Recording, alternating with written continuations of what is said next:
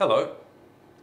In this problem, we're going to use the integral test to discuss the convergence of the sum from k equals 3 to infinity of 1 over k times log k.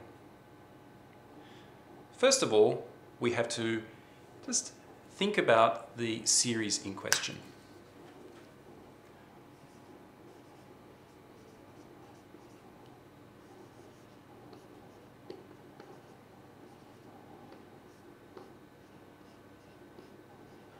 The first thing we want to observe is that the series from k equals 3 to infinity of 1 over k log k is an infinite series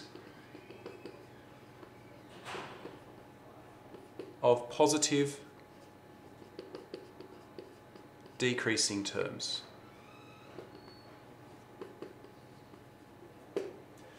This is extremely important because if we're going to use the integral test, this condition must be satisfied. It's an infinite series because the upper limit of the sum is infinity. Because k log k is positive when k is larger than or equal to 3, then each of the terms is positive, and as k increases, then the term size decreases. We're now ready to examine the convergence of the series, and we're going to do that by considering the improper integral of 1 over k log k.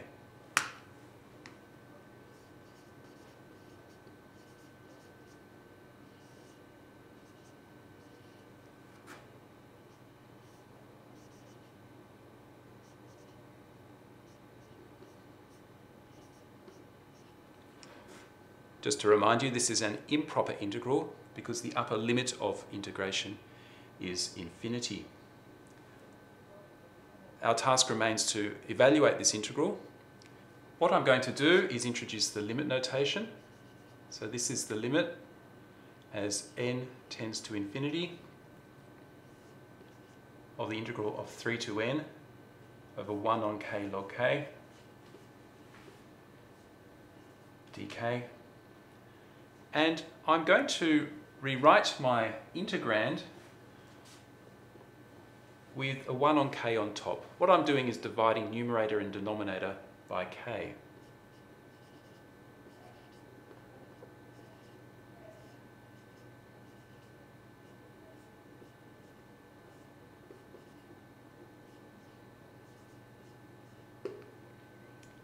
We should now be able to evaluate this integral by observation noting that the derivative of the function in the denominator is 1 on k, which occurs in the numerator.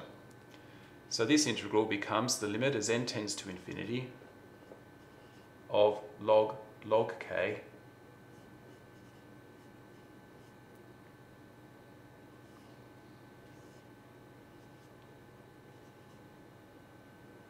evaluated where k is from 3 to n.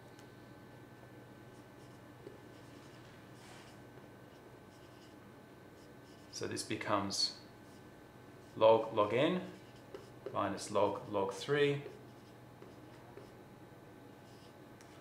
And because log n diverges, then log of log n diverges, and we can say that the limit of this expression here must tend towards infinity as n tends towards infinity. And all that remains for us to do is to write a conclusion. Because the improper integral diverges, then we can say that the infinite series also diverges. Let's write that down.